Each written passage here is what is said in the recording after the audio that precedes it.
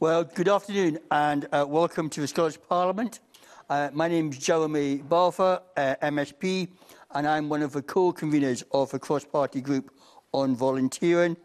And I want to welcome you to the 2023 uh, Festival of Politics.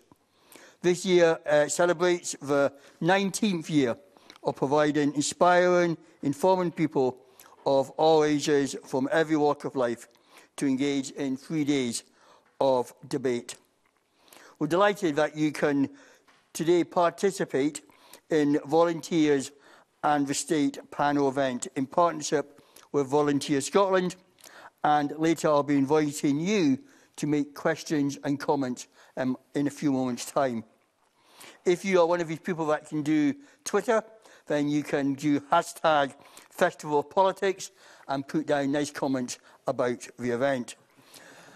I'm pleased uh, to be joined by uh, three guests, um, Alan Stevenson, Sarah Redmond and Alan Sherry. Um, Alan is CEO of Volunteer Scotland, uh, one of Scotland's national centres for volunteering. And last year, Alan led more than 100 sector stakeholders, including colleagues from Scottish Government, in the development and successful launch of a 10-year volunteering plan for Scotland. Uh, Sarah is the Chief, uh, Chief Officer of Development with Health and Social Care in Alliance Scotland. The Alliance. Her work involves working closely with uh, members and promoting the role of the third sector as a key innovator and partner in realising Scotland's national health and wellbeing outcomes. And finally, but not least, um, Alan uh, Sherry is the chair of the Community Learning and Development Standards Council. He is now retired who's had a long career working in Scottish colleges. Alan is also a member of Jobs and Business Glasgow, Views Youth Cafe in Glasgow, East End and White Ribbon, Scotland. So let's just have a quick uh, think about where we are. About 27% of Scotland's adult population regularly volunteer for an organi organisation or group, um, and they will help deliver often public services. During COVID-19 pandemic, there was a significant increase in people volunteering and the ways that volunteers gave their time changed. Now, um, as we've come out of that, uh, we're in a, a cost of living crisis and placing significant strain on public services, on organisations who engage volunteers and volunteer themselves. Many public services, as I'm sure we're all aware, are experiencing staff shortages and public sec sector workers in many sectors are seeking better pay. And in that climate, we want to explore the whole topic of volunteering. We're going to start with um, a couple of questions to the panel from myself, and then it'll be over to you to ask questions or to make a comment. So I thought it might be helpful to start with a, a question maybe to Alan Stevenson, if that's okay. And that is, What is the current role of volunteers in Scotland? Okay, um, thanks, Jeremy. Um, so, I mean, I think the first thing is to, to take a step back and think of the scale of volunteering as you've you know, touched on. 27% of the adult population is about 1.2 million people that volunteer.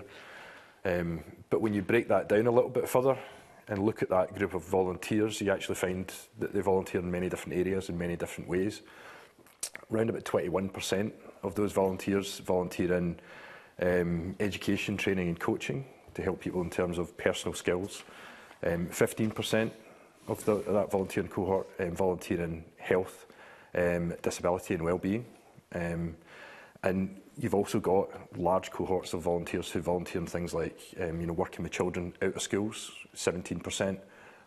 working with children um, in schools 11% so it's absolutely huge So to sum up in a few words what volunteering does in terms of public sector um, is very, very difficult because the, the range of roles are, are huge.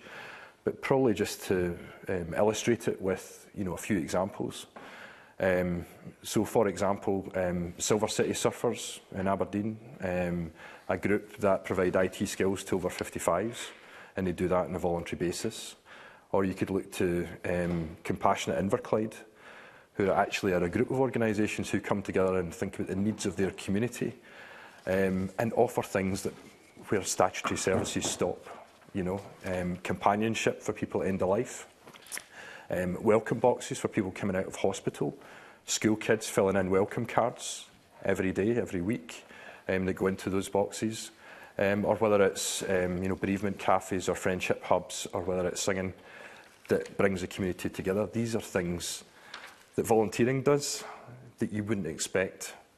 public sector to do. And what does that mean? Well, you couldn't probably sum that up in numbers. You probably couldn't sum it up in words.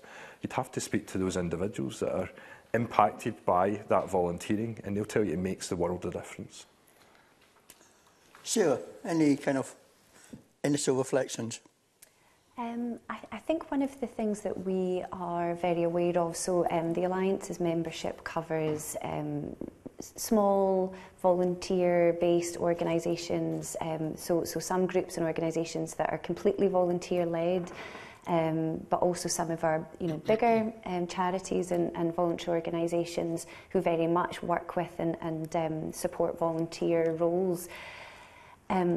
it, it often strikes me that volunteering itself, and, and it can be I think some of the, the, figures that Alan's described, you know, are quite um, formal volunteering roles.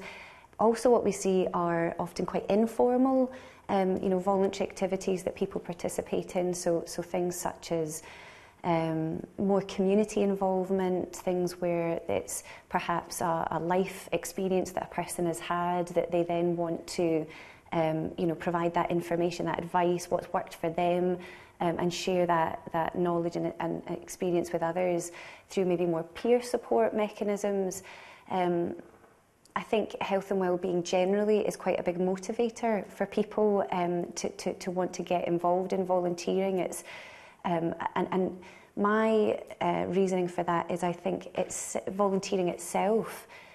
you know, um, sharing your experiences, sharing your, your, your time and your, um, you, know, you know, your, your contribution with others itself is a health generating activity.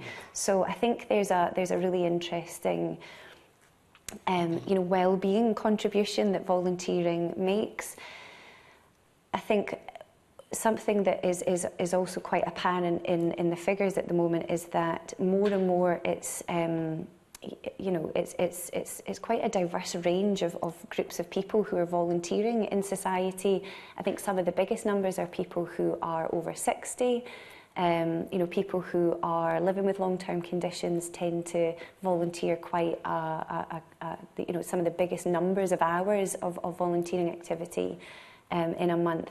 So, um, making sure that the, the, the volunteering roles reflect society is something that we're seeing more of, um, but it's also something I think that um, you know we want to continue to do to, to do more of because um, you know those those opportunities to volunteer is, is also something that um, you know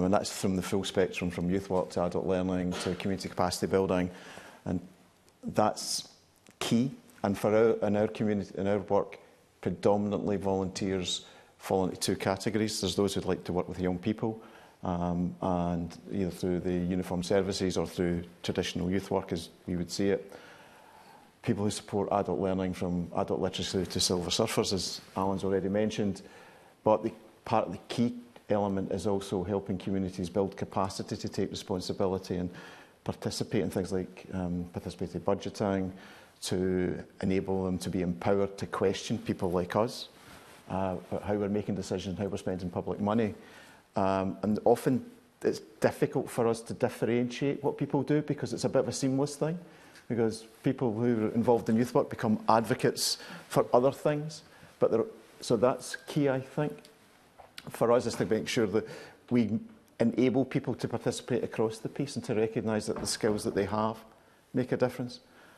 I also think in recent years one of the big differences has been that the range of volunteers bring more extensive skills that previously were provided by the state through professional workers. Um, some of that's to do with demography. Um,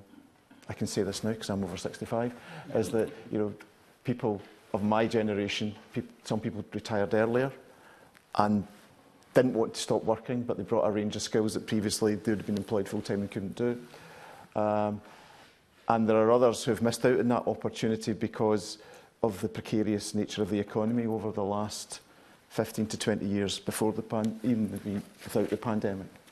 So I think that's a key part of it. But one of the things that strikes us in our sector is that though they're a valuable resource and bring huge amount of skills, volunteers still need professional workers to support them to ensure the high quality of the, the experience. For us, for learners, because we see everyone as a learner, but for in other areas to ensure that services are delivered properly and appropriately. So there's that balance, I think, as we see it, about the need for volunteers to bring that richness of experience and that diversity of experience, but then the, requirement they have professional support in order to deliver that effectively. I wonder if I can, Alan, just kind of push you a wee bit on that a bit further. One of the things that um, surveys are saying now is that volunteers often feel there's no difference between them and someone who's been paid. Um, and that kind of differential has disappeared. Um, I suppose from your perspective, is that a good thing? Or should there always be a difference between the volunteer and a paid member of staff?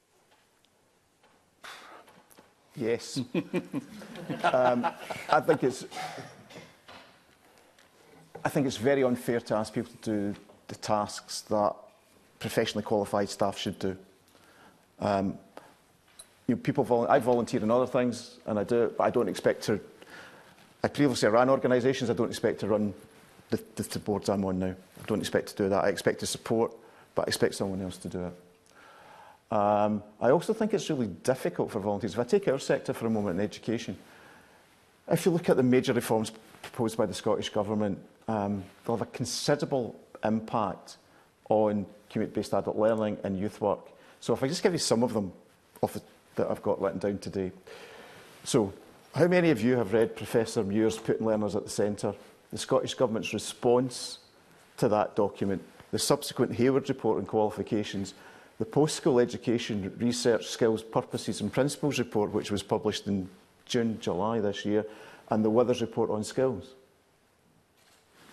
You know, I'm, it's a straw poll, but I guess if more than one of you have done it, I would probably fall over. All those reports will have a major impact on what we do in CLD.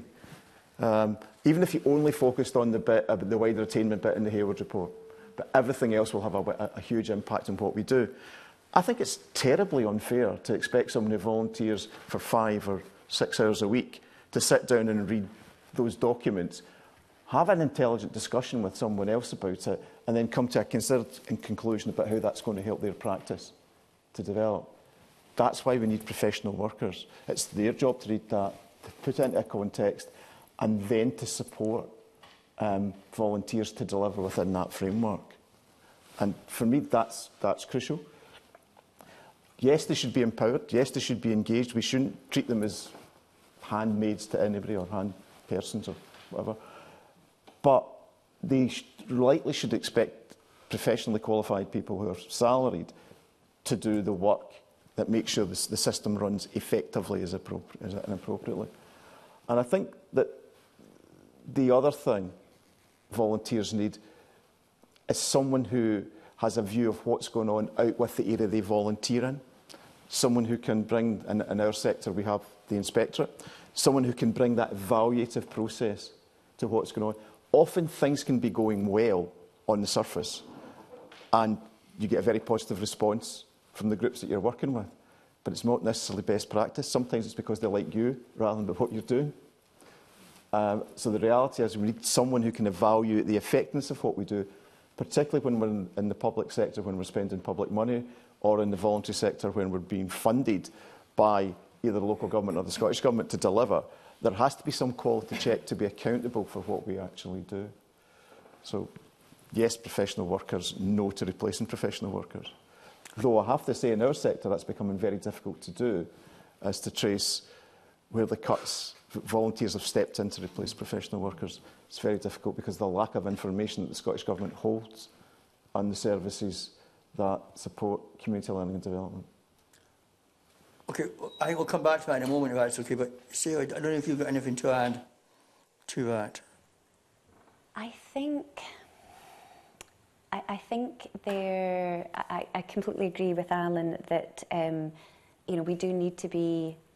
uh, aware and attentive to the, the possibility of expecting more and more from voluntary roles and you know particularly in a time of um, you know budgetary restraints um, and constraints you know it's it, it's very easy um, I think for particularly in in the voluntary sector and and you know we see that very much from from some of our members that at a time when they're facing budget cuts they're facing you know higher costs for delivering the services and running you know running their organisations um, they're seeing higher demands on their services and their supports, but they don't feel able to reduce what they're doing. There is a real risk that we, we, we rely more on voluntary roles um, or for people to do more um, but not get paid anymore for that. So I think that is something we do need to be um, you know, attentive to. Um, I think there's also some concerns when you look at, you know, I was, I was mentioning some of the positives around volunteering and, and you know, the, the, the more, um, you know, the, the inclusiveness of volunteering, more and more people from different groups in society are volunteering. But actually, when you look at, um, you know, the employment rate for some people in society, you know, there's, there's real inequalities there as well. So there's, you know, there's a huge disability employment gap, and that's, you know, that's problematic. So I think there's something about making sure there are routes for people to get into paid roles. Um, you know, sometimes you know, I was referencing the amount of people that get into voluntary roles because of their own personal experiences and, and they share and they support others um, you know, in, in their own recovery and their own health and well-being through a peer support role. Um, we probably need more roots into to paid roles for that. You know, it's something that people value really highly in terms of their own um, health and well-being. And um, you know, if, if that's the kind of, of roles that we're um, wanting to, to see in society, then, then those also need to be paid for. People need to be you know, remunerated appropriately for, for the, the, the work they're doing. Um, so I think there's something there about the nature of work. Um, you know, I think that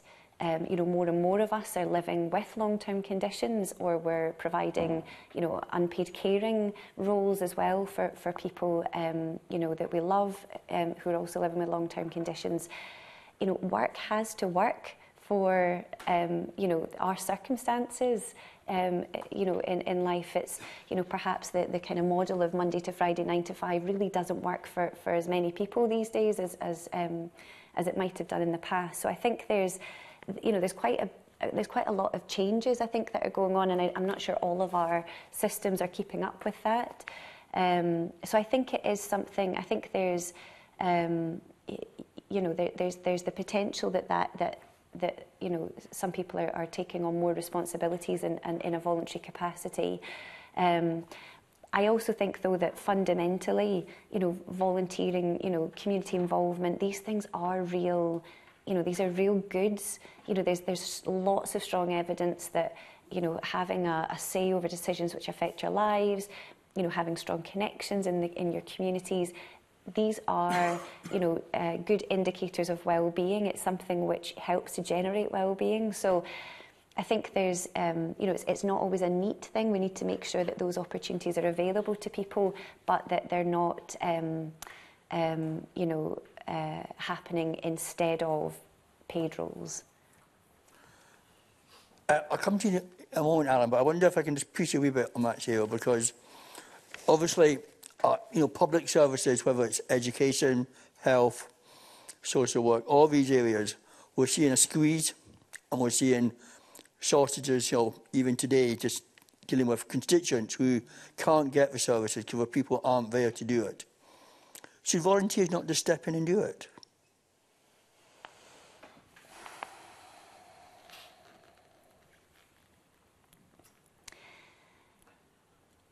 I think the risk with that is, um, whilst that can seem like a, a short term solution, I think in the long term, one of the one of the big you know challenges that we face you know across the UK, but you know acutely in Scotland, is um, inequality, and um, you know that is one of the the main reasons why you know some people are dying earlier than they should be. Um, you know some people are living less years in good health. Um, it's because you know there is less equal access to income, to um, you know, to, to wealth, to having you know access to the good, the, the the the building blocks of health. So I think the risk is that um, we we need to be considerate about the the, the, the, the potential long term consequences of that. um, those people who can volunteer and do so because they have the, the, the conditions in life that allow them to do that. But that's not that's not going to be everyone's circumstance. So I think there's there's some there's some reasons why we need to be cautious of that. Okay. Alan, you're pushing volunteers. Let's get rid of all teachers and get this volunteer teachers in. I don't know if you know what I'm going to say here, but um, no, I, I, I it's complex, isn't it? I mean, we're starting to get into the nub of this. It's, it's quite contextual. You know, fun, fun fact, if you have an incident at sea or on a mountain, it's volunteers that are going to come to your aid. But if you're on land or whatever, it's, it's probably paid staff. So there's, there is a context to some of this and there's a history to some of this as well. So, you know, when I hear, um, you know, opinions from different sectors, subsectors and so on, trying to understand the, the context of that is really important. But I think for us, we try and ensure as a, as a national body that there is clear water, so to use a pun again, clear water between volunteering and, and paid work, you know. Um, the acronym I'm going to draw in here is fun. I think volunteering should always be fun, but I'm going to use the F for free choice. Volunteering should always be a free choice, and that starts to feel quite different from, from paid work in a sense that you've got a contract. You don't have a contract as a volunteer.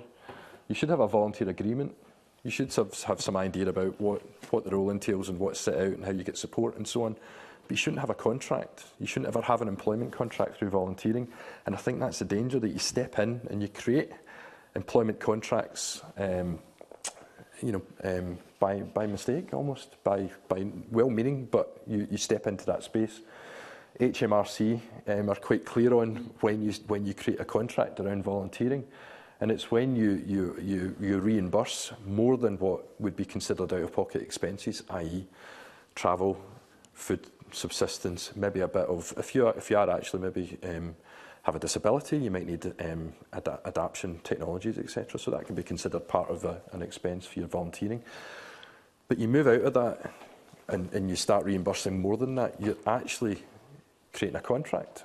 Um, and HRMC will be saying to them, what you're doing around living wage, what you're doing around taxation, etc. So there is something here about free choice, there's something here about volunteering always being uh, unpaid in that sense, um, although we, we look at expenses. And I think there's something else about volunteering not being for profit, you know. So if we talk about volunteering in private sector organisations that have got a profit motive, you have to really be clear about what's a volunteering role um, and what's, what, what's, what's a paid role. Um, it shouldn't be part of service cuts as well um, we believe, through our charter. And, and it certainly shouldn't be a substitute for paid roles, and that is where the real nub is, is when you've got volunteers who are doing something very, very similar to people who are paid. How does that make you feel? Either way, it doesn't feel too great as a volunteer. It certainly doesn't feel too great um, as, as a paid worker, looking at someone working alongside doing the same things but actually not getting paid.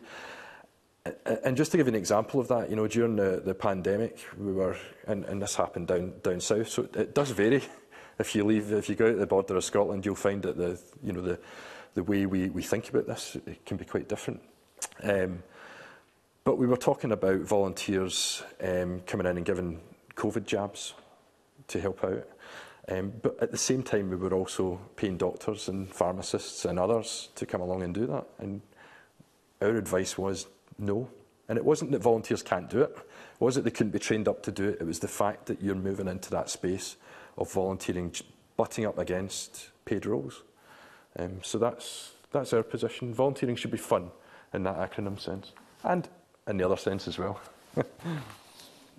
Alan, yeah, can you? this point, I mean, I spent most of my career working in the East End and, and Greater East Rise in Glasgow, the poorest communities in Scotland, still are the poorest, poorest communities in Scotland.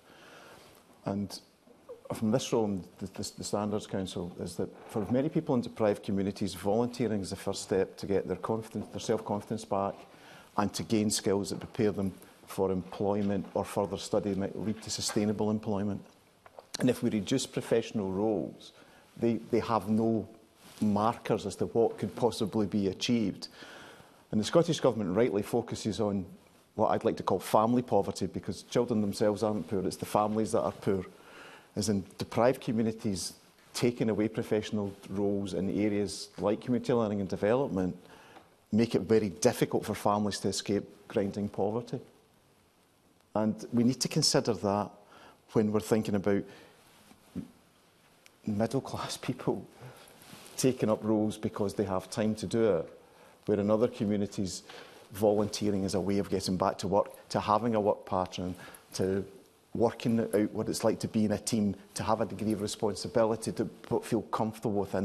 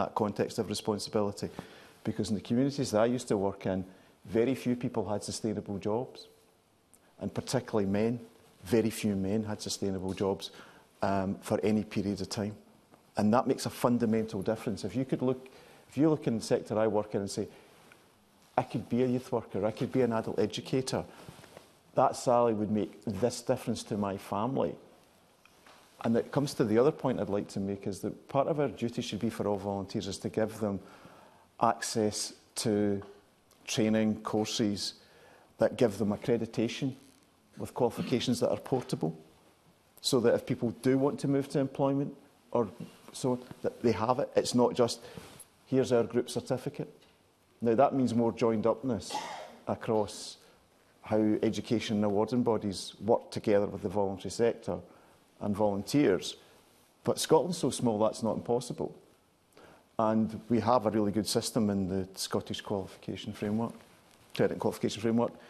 We're now talking about micro-credentials. I'll not bore you to death what a micro-credential is, but you can have chunks of learning that are amount for 10 hours that you could accredit, people could build up. And again, those people who have few or no qualifications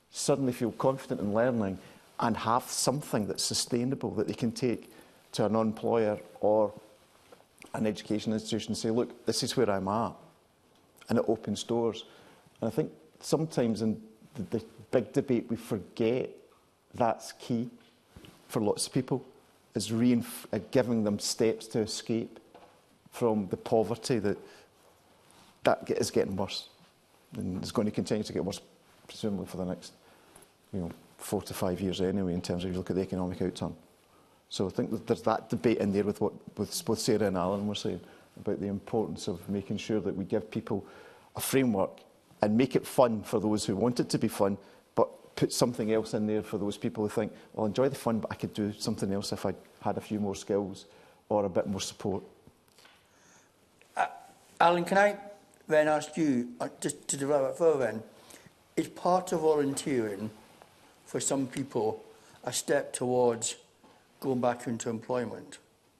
And if that, if that is the case, how do we make that jump from... So let's, you know, I, I work in a charity shop, maybe doing X number of hours.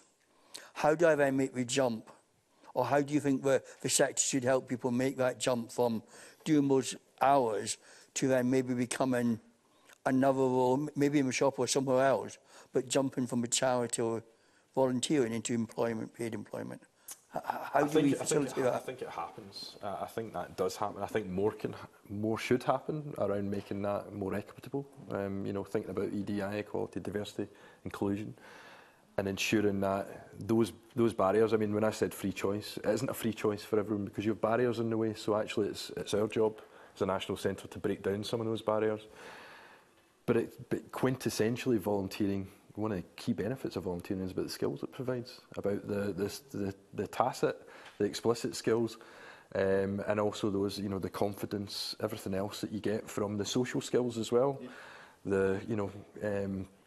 just going to something regular as well each week gets you into that habitus of, of preparing you for work. I think what I'm saying is volunteering shouldn't be exactly the same as a paid role, but it doesn't mean that a volunteering role can't give you all of those things.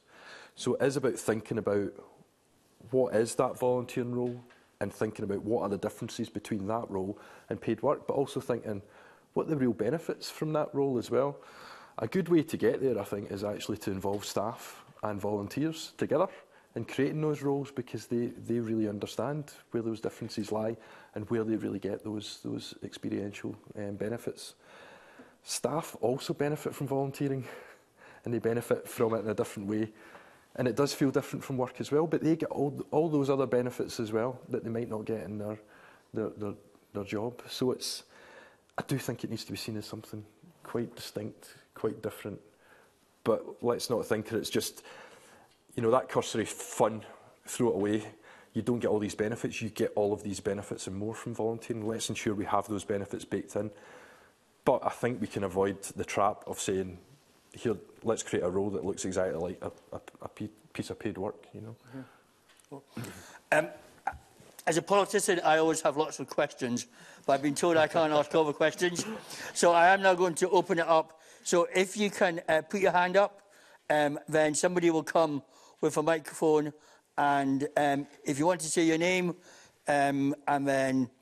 just ask your question or make a statement. So the lady in the orange jumper right at the front. Thank you. Is it turned on? Yeah. Hi, I'm Gail Halverson. Thank you for the talk. I'd like to try slightly change track. I'm one of the middle class um, volunteers who is not on the ladder to, to move up, but, but we still need help. Um, I'm an architect, and so the volunteering roles that I've taken have all, all been to do with buildings. Um, 10 years on Gorebridge Community Development Trust getting a 2.5 million community centre established, now working um, for an organisation that I run, which is helping in rural Scotland, and we're now looking at providing how, uh, affordable housing. In each case, i have personally come across this, and I meet so many other people that are coming across the problem of not having the expertise, the backup, there not being a resource pool of knowledge in our area. And when I think of everything that we went, I've been through um, with contractors going bust, um, financial crisis, um, an arson attack on the building, all sorts of things. And we had to reinvent the wheel every time. Now, if there was a pool of, of resources, a central pool, if the Scottish Government could provide some sort of central body where we could go to to get advice, it would be a real help. I, I come across this again and again. Um, development trusts in rural Scotland trying to have been taking sort of 20 years to get five affordable houses built in their community. They just need that expertise of lawyers, architects, um, building surveyors. I'm talking about the building sector, sorry, but I'm sure this will apply to other sectors too. If there was a central body, it would be a real economy um, uh, for, for Scotland in the future because you would be all these organizations would not be repeating the same mistakes again and again. So it would definitely be um, an economy to, to invest in something like that, in my view. Um, So I'd just be interested in the panel's view on that. Alan Nash?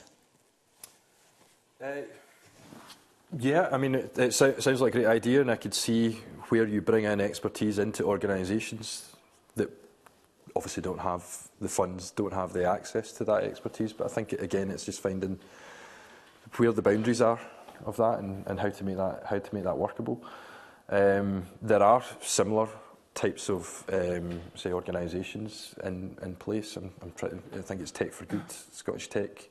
for Tech Army. I think it is that they do something similar in a, in a technology space. They bring technology experts together, and those technology skills are available to organisations who wouldn't have the funds available to do that. So there probably is a blueprint for how you could do that for our professional services. Um, I'm not aware of anything else that's there at the moment that does that, and it sounds like you're not aware of that either, and that's why we're in. You, you've got that issue. Um, but I don't think it's a bad idea. I think it's just making sure that those boundaries are in place. That it's not exploited. You can imagine how that can be exploited, that organisations that can afford to do that are suddenly availing of that. But uh, that'd be, e, it'd be easy to put in the, the right checks and balances to ensure that doesn't happen. Yeah, no, I, I mean,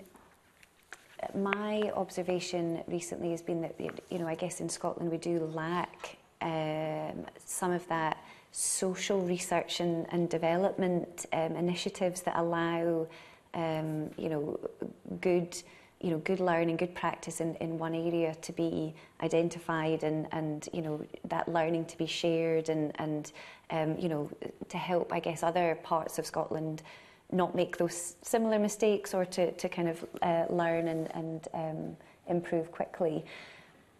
You know, I think some of the, the, the challenges that, that are facing us have been challenges that have been facing us for decades. So um, there is a real need for us to um, you know, to give real attention to some of the, the, the social issues that, you know, are impacting on society. And, and you know, the, the, the, the risk is if we don't do that, and I think what we're beginning to see now is that it is impacting on um, it's impacting on our economy. You know that we have um, more and more people who are who are feeling as though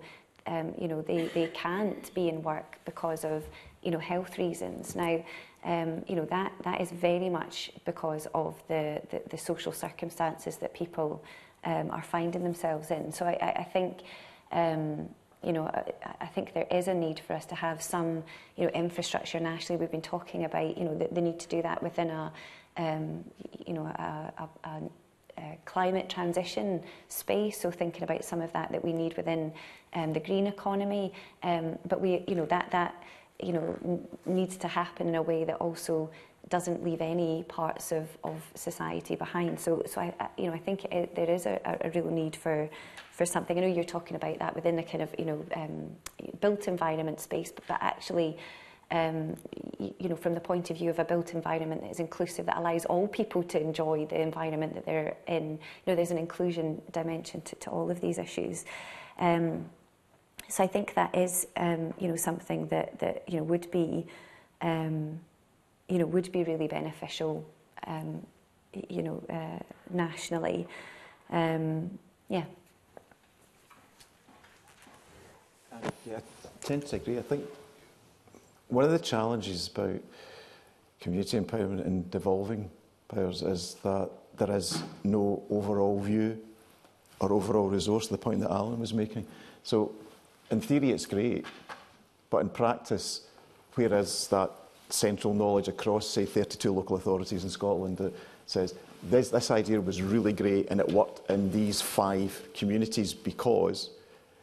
but in these 10 communities didn't work for the following reasons. Therefore, the learning from this is that. And it kind of ties in with the specialist knowledge. And I was reflecting on the, um, within uh, Glasgow, that um, Glasgow Life wanted to give all its community-based assets to, to local communities um,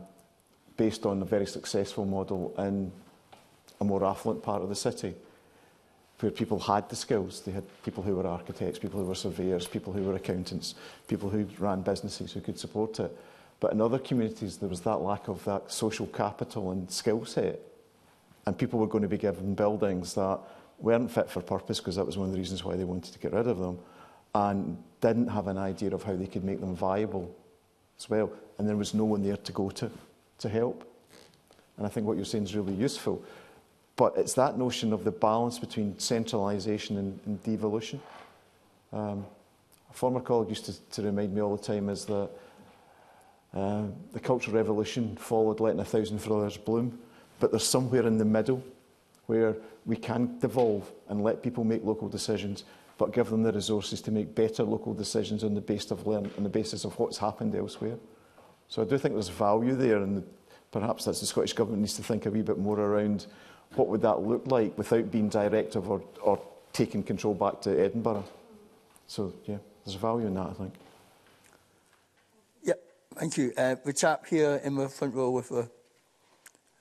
green shirt.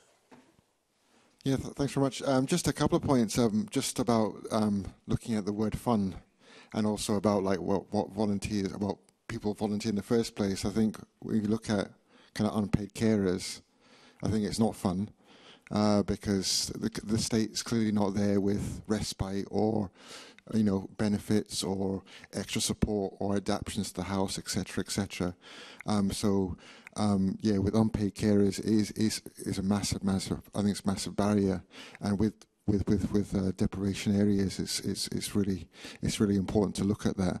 My second point is a question really about be about being realistic, because um, of my understanding of like looking at the feedback from volunteers from the pandemic in the NHS is that there's lots of positive positive feedback, but there's also a lot of uh, criticism about not not feeling supported, not feeling um, not feeling valued, uh, not having a, a, kind of firm role, um, of not being, you know, all these all these kind of um, constructive and other criticisms, and so it's really like we know we've got over ten years, we've had ten years of austerity, it's not going to change, so these jobs are they going to come?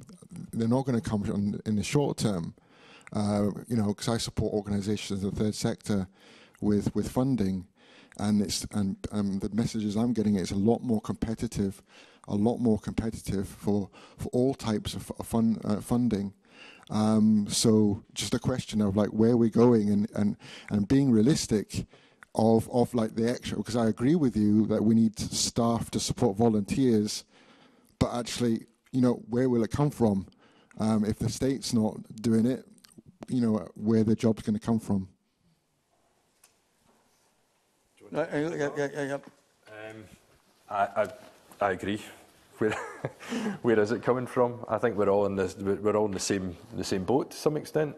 That we're looking at where's the funding, um, where's the acknowledgement that volunteers are important, where's the investment in appropriate volunteering programmes in volunteer managers and their professional development and all of those things that you need to ensure that in future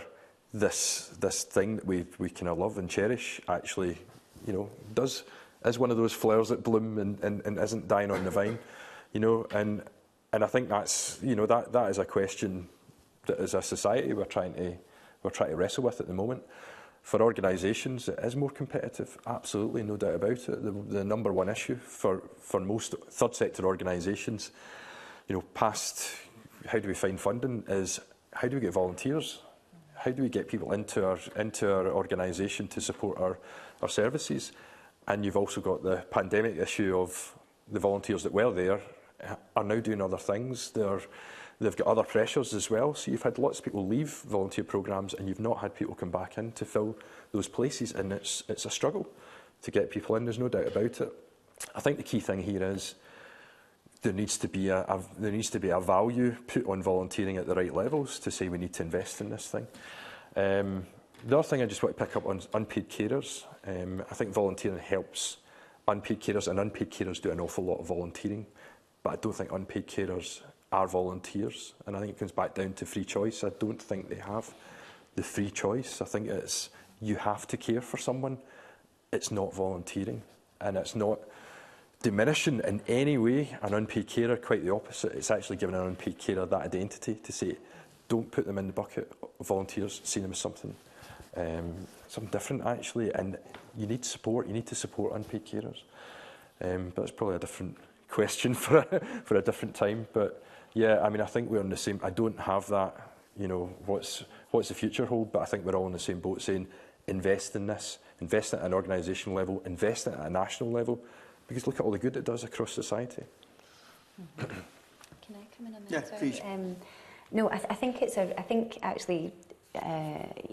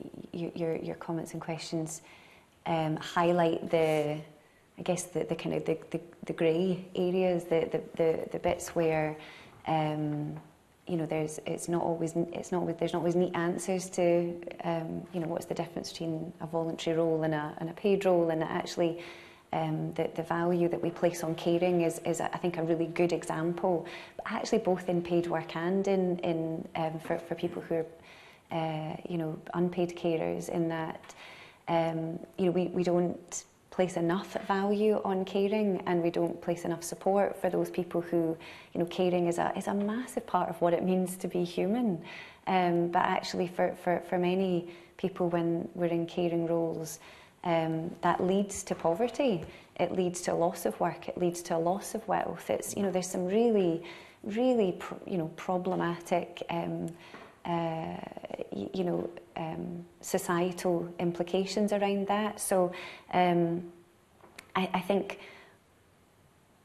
I, I, would agree with Alan. I think there's there's something about not seeing it necessarily as a, as a, as a volunteering role. I think there's you know there's something about I guess the roles that we've been reflecting on and um, uh, you know where there's you know it is you know it's a freely given.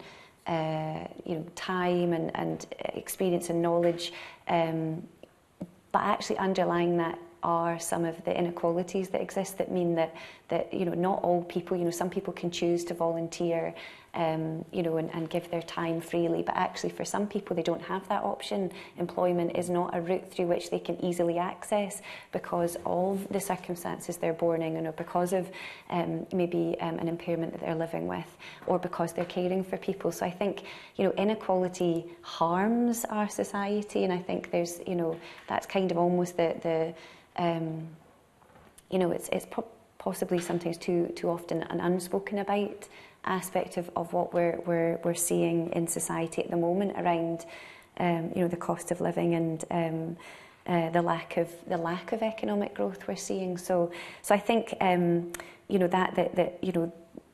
the issue that you're raising really around the value of caring is, is you know, it's, it's, a really big one. I think it's slightly, you know, it's, it's, it's, it's different but related.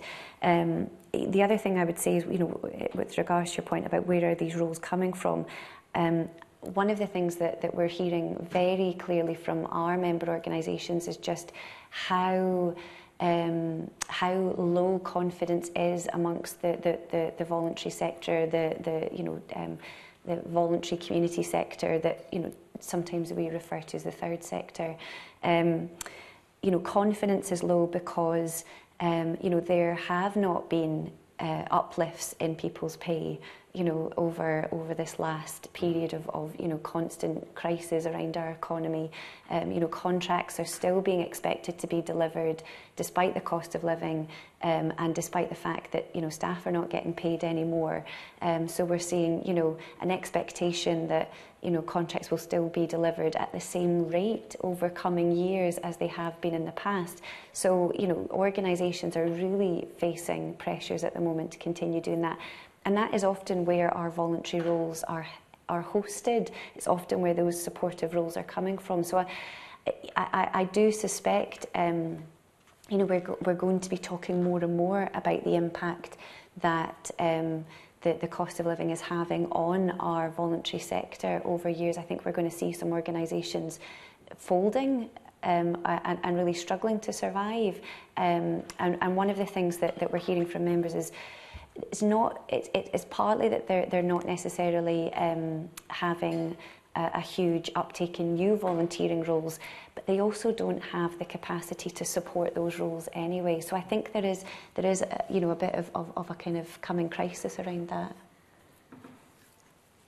Alan, sorry uh, I thought the, the, question actually got I don't want to sound very philosophical today I think it's, it's Your question, I think, really is around what kind of society do we actually want and what choices do we want to make within the context of that society and what are we willing to pay for that. So that's the bit for me that, that struck me from your question, that um, we debate about what kind of Scotland do we want, what does that mean? What is the state prepared to fund? What's the state not prepared to fund? And where does and where's the volunteering role in that space? But there's also the interesting bit about the demography of Scotland. I mean, you, you were talking about the health service and, and so on. It's an ageing workforce at all, virtually every level. Focus tends to be on the highest levels because you know, doctors get more stuff than anybody else. So there's, there's a space in there for people in their 30s and 40s, the right qualifications where there will be jobs because there is a commitment still to a National Health Service in Scotland. So as people of my wife's generation and her are leaving. They need to be replaced, and there's not enough young people. People who've got care experience, as perhaps circumstances change, have got a whole raft of skills. How do we fast track them into professionally qualified roles? How do we have articulation and progression routes from community based learning like that into more traditional, I hate that phrase, more traditional learning, so that people who are really good, who are empathetic, Because one of the, the stressing things I find is that everyone seems to assume that technology is going to be the answer. A robot will appear at your door and care for you. We know that empathy and people actually talking to other people identify more issues and can solve more problems rather than just simply ticking a box. Um, and I think that that's some of the debates we need to have about where do we need people to do things and where can the machines number crunch and do things intel intelligently. But we need to think about that. But we also need to discuss what kind of society we want. I mean, we're very good in Scotland at say, oh yeah, it's great. We, you think we want Scandinavian,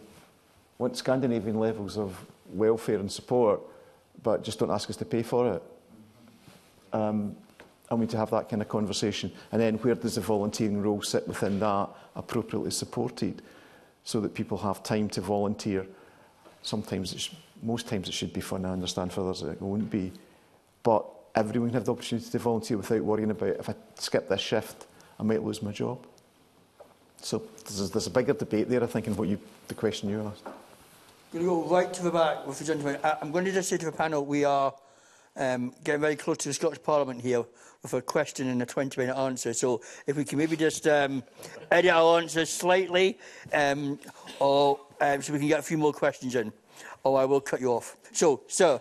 Thank you. Um, this is really uh, directed at Alan Stevenson. Um, you said earlier, and I understand why you said it, that um, volunteering shouldn't be a substitute for paid work. Um, but you also uh, gave the example at the beginning of, I imagine, the RNLI, which is, I think, 97% uh, frontline staff or volunteers. Um, that strikes me as an incredible uh, organisation and an incredibly successful service. Um, what's your argument to say that those should be paid workers, or, or would you make that argument? Because I, I find it difficult um, to say that that you know, that that isn't volunteering at its very best, if you like. And, and there's an obvious reason as well, which is um, if you were to replace that by full-time staff, they're sitting about doing nothing a lot of the time, whereas the volunteers have got pagers or whatever to, to alert them when they're actually needed. But that's my question anyway. It's a good question. Uh, it, it comes back to the keep this brief. It comes back to the it comes back to the complexity, I think, and I wouldn't I wouldn't be saying to RNLI, you know, ditch that and get paid staff in. I wouldn't be doing that with the Mountain Rescue Service either. Um, I think I think we're really where we're talking about the charter is where you've got paid roles in there already, and it's and it's that jarring with volunteering and paid roles. Um, now, how that came into to being is another is another question, and how you just come up with what is you know an emergency service and think, conceptualise that as, as volunteering in its essence is, is incredible, actually, the way that has happened. Um, but it'd, it'd be difficult to do that today, I think. It'd be difficult to do that tomorrow in another area and just say, actually, we're just going to go at this just, just with volunteering, I think. Because um, I think there'll already be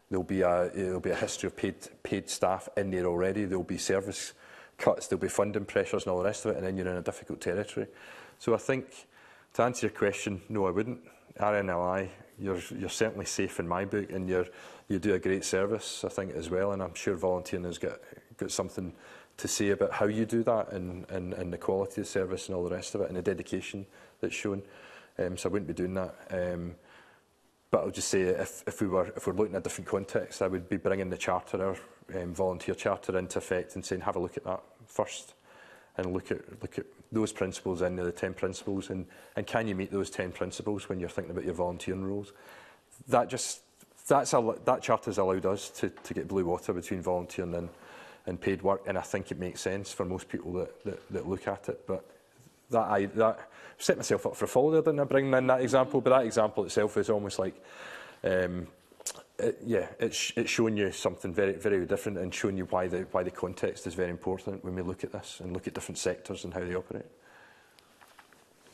I tend to agree. I think that there are certain parts that lend themselves more easily to volunteering and a range of specialist skills that need to be on call but are not there. But in the same way, I wouldn't necessarily want um, surgeons to be volunteering um, in, that, in that sense as well, because you want people who've got that kind of experience we need to be subtle here. There isn't, we can't be monolithic. We have to be stratify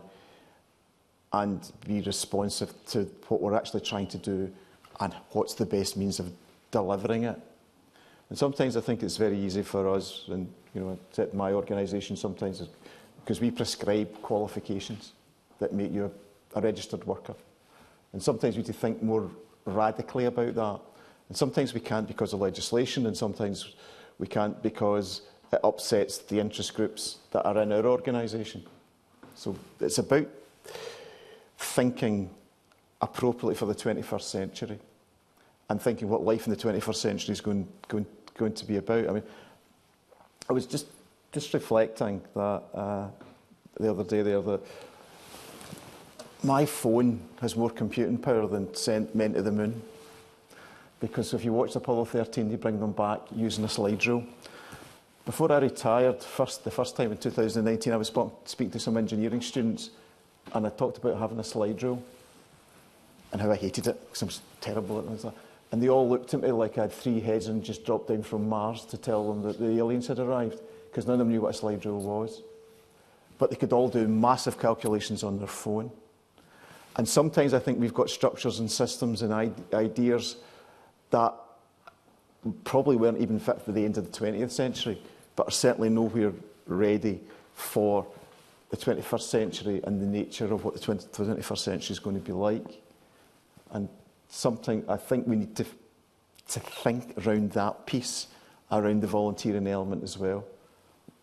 What, would, what will 21st century volunteers need to do? What will be the differences and the roles that we expect of them? And what will they benefit from, from that participation? And how will we recognise that? Other than sometimes lots of it's been how they feel about themselves.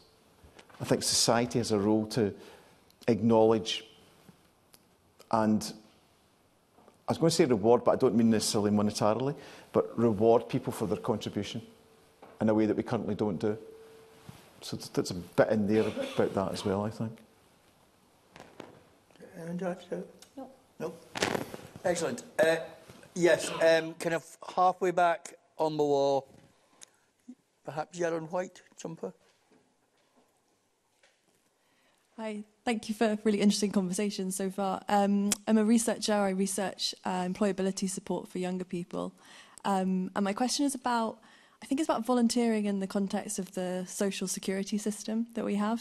Um, so I see in my research, I think I, see volunteering sort of being a bit of a substitute for work experience um, and also for supported employment for people with additional support needs and disabilities. Now, those both work experience and supported employment can be paid, and volunteering, of course, is unpaid. Um, and so I, I think the question for me is how do we strike a balance between the kind of benefits of volunteering that Alan you talked about about sort of confidence building and social skills which are great and they certainly help people move into work I've seen that but also not saying well actually you have to volunteer to be able to get that experience or that's your only option in the context of a very ungenerous benefit system um, so how do we strike that balance of encouraging volunteering while also acknowledging that this is a very difficult time to do anything unpaid for lots of people um, can, and remember these things. It was much easier to get work placements for people from the most deprived communities and with disabilities when the economy was booming. Companies took their corporate responsibility further than they currently do. And as soon as you hit recession, they start to chop the things that they think are difficult to do and don't hit the bottom line. So there's, there's that, always that paradox during austerity.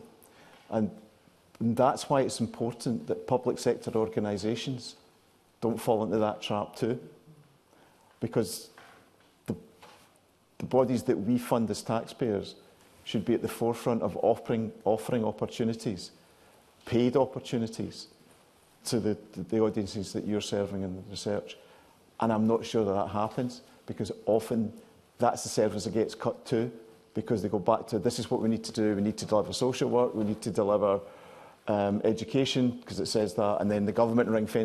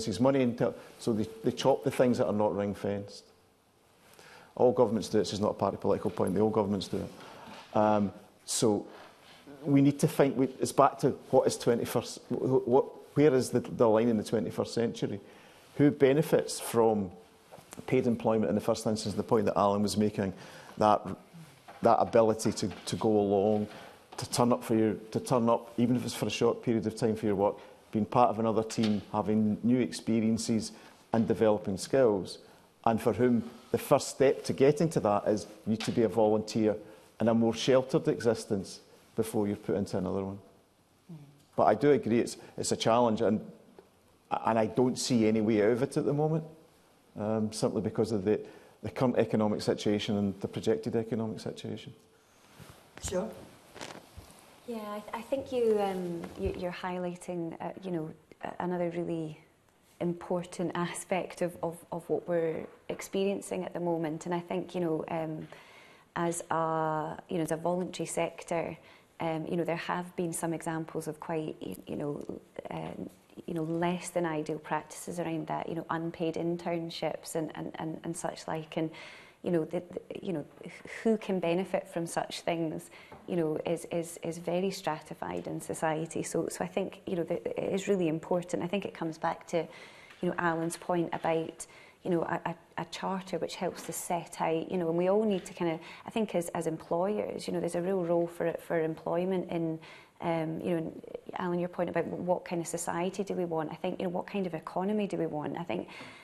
I think employers are at risk of, of, of having to kind of play catch up with the nature of, um, you know, the, the, the demographics we have um, in, in Scotland and, and making sure that work reflects people's lives. Um, I think, you know, we do need to make sure that there are opportunities for people to you know to gain experiences, but not um,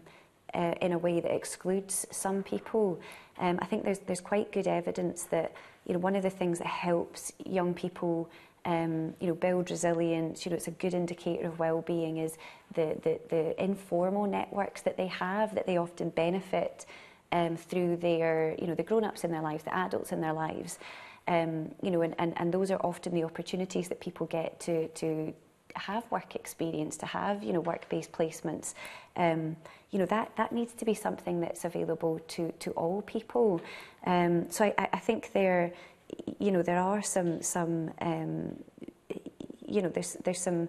Uh, there's some real opportunities with this as well, though. I think that's the thing that there's real opportunities for us to be um, looking at these um, you know, these grey areas, these subtle areas. You know, one of the things as an organisation that we've been uh, having conversations around is, you know, there's, there's a real understanding that the best policy, the best strategies are made by involving the people that um, they affect.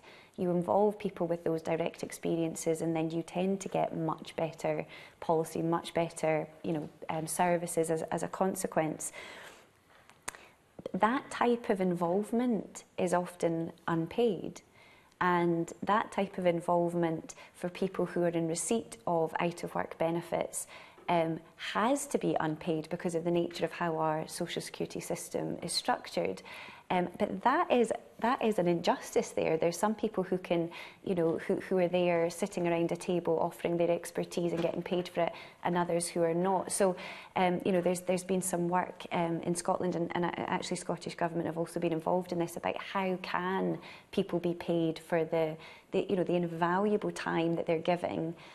based on their own personal experiences and life experiences, um, and, and which is a real good for society. at least, much better policies, much better services. Um, so, so there are, I think there's, you know, that, that's another example I think of where, you know, it's not always a neat distinction. Um, but nonetheless, I still come back to the point that, you know, we, we, we do need to, to understand that, that um, you know, there are some distinctions between volunteering and, and paid roles. Okay, I'm, go I'm going to try to get two questions in. So uh, if we go across to, my apologies, we're going to go across to the other side to Jennifer to please up. Um, we've got um, just about four minutes left, so um, we'll take both questions together and each panel member will have a minute each to answer questions. Thank you. Um, it was just to touch on what you were speaking about there then. So is there anything that defines the difference between volunteering and working and how could someone who's essentially involved with an organisation go to their employer or volunteer lead with that distinction and be able to say, actually, you should be paying me for this and this is a voluntary role. So just if you could point to any of those, that would be helpful. I a chap, I think, at a very front, did you have a question? So just kind of quickly going on top of Sarah's point, I've been involved in a lot of this kind of grey area, kind of almost like policy volunteering to an extent, you know, not getting paid for it. And what I'm curious about is that, you know, it's the thing here's volunteers in the state, is the state kind of almost using people here to kind of, where they're not funding it, you know, and moving forward, you know, do we actually want people to get paid for this? Um, do we, because looking at it from my perspective, you know, but when you talk about the work Scottish Government's doing, you know, I've been doing work with Scottish Government on this for a year, and they've been telling me, oh yeah, we're working on this, we're working on this, you know. And, you know, I found that personally very devaluing somebody who's, you know, not personally going to be affected by that, but I'm still giving up my time, you know, as I'm not in receipt of social security benefits, you know. I'm essentially giving up well, I'm at a table with colleagues from, you know, the Alliance and other organisations who are there and getting paid for it and doing the same work. But anyway. Okay, big questions, short answers. Uh, well, what we are down the line, um, Alan. Uh, probably you just mentioned it in the last words you said there, she was doing the same work. So I think looking at the paid role and looking at the volunteering role and breaking that down a little bit and saying, is it substantially the same? If it's the same, then I think you should be getting paid. Um, that's pretty much, there's, there's something else there as well about just that, that um, habit of employers saying, holding out a bit of experience, a bit of something on your CV and saying that can be free now. And you need to question where they're coming from in that one. It's not always a, a, social, a social good. But there's some in HMRC about prospect to work as well. It's also forming a contract. Um, so though you're not getting paid at that point, if there's a prospect you will get employed reasonably down the line with that organisation, then that is actually an employment contract as well, according to HMRC.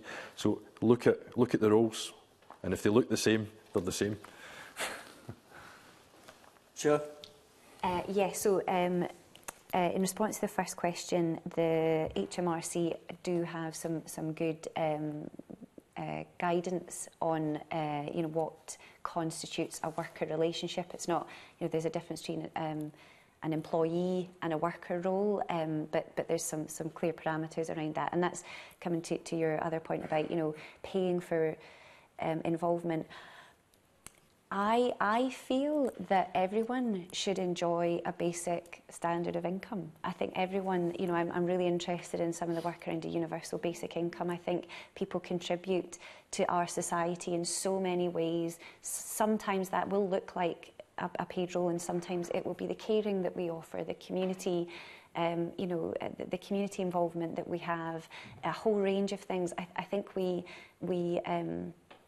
we devalue too much of what is good in our society. So I think I think there is something there. Um, should uh, should some of the, the kind of um, that deliberative dem- democratic kind of participation be paid for? Yes, should it be paid roles? Maybe not always. I guess I think it probably is something that um, I don't have the conclusive answer on, but I think it is something we do need to have dialogue around because it's a it's an increasing uh, example of the ways people are volunteering. Sorry, I'm not... No, no, that's Um, Alan. Nothing to add in response to the first question, but to the second question, I think there is an issue around unpaid internships and how it reinforces um,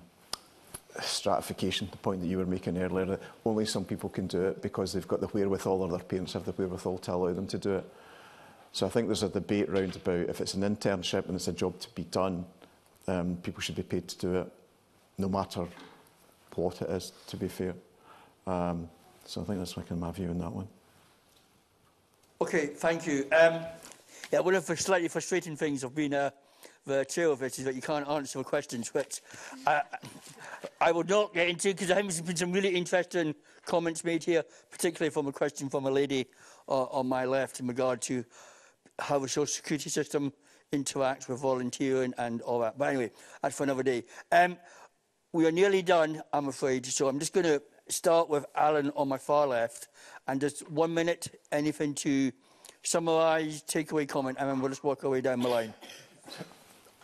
I think we have to value what volunteers do and the skills that they bring. And they enrich the experience not only for the, the people they work with, but also the professional staff they work with, because it gives them another sense of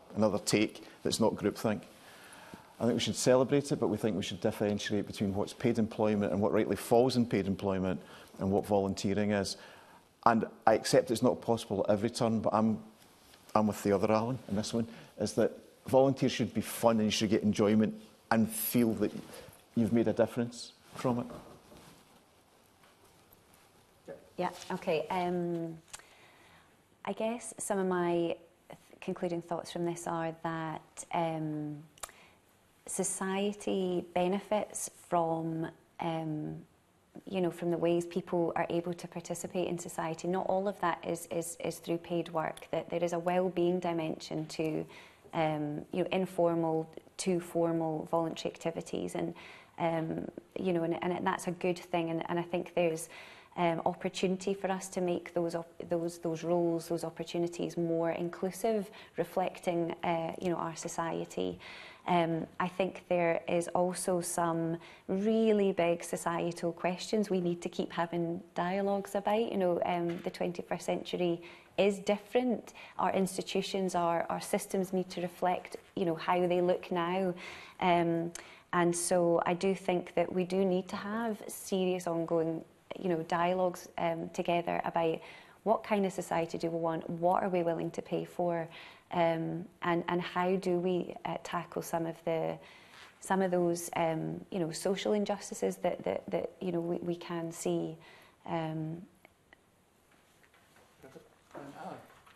Uh, I mean, I think we're in a period now of public service reform, so it's right that we should have these discussions, community wealth buildings out there, national care service, we're having conversations around that as well. We need to acknowledge the role of volunteers. Um, we need to be thinking about volunteering roles from a preventative point of view in terms of the societal impact and look at our, these roles as being enhancing and complementary, not substitution for paid work. Um, and I think that that actually calls on policymakers and so on to have really meaningful conversations, really meaningful consultations with the communities out there in Scotland and to bring in that voice and bring in that lived experience. And that's where a lot of volunteering happens. We've got a lot to say. We've got a lot of the answers as well, but quite often we're not listened to. Um, that's it. Thank you uh, very much. Um, we are coming towards uh, the end of our time.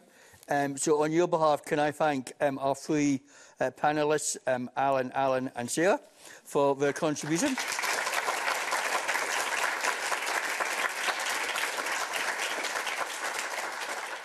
Can I thank you all very much uh, for coming along um, this afternoon. I hope you, at least it has perhaps stimulated some thinking um, perhaps encouraged you to go and volunteer um, or get more involved in volunteering. If you want to find out more about some of the policy issues, then you can go to the Volunteer Charter webpage or Volunteer Scotland's website. Has a lot of information. Um, do have a look at those uh, and find out more. And then, can I also encourage you to hang around um, the festival, as I said, last, today, tomorrow, and uh, the day after. Um, so there are lots of other events you might want to go um, and look at. There's a, a bookstore next door. There's a cafe. Um, so coffee, food is available. So please do make the opportunity uh, to have this. But again, just to thank you all very much for coming this afternoon and enjoy the rest of your day.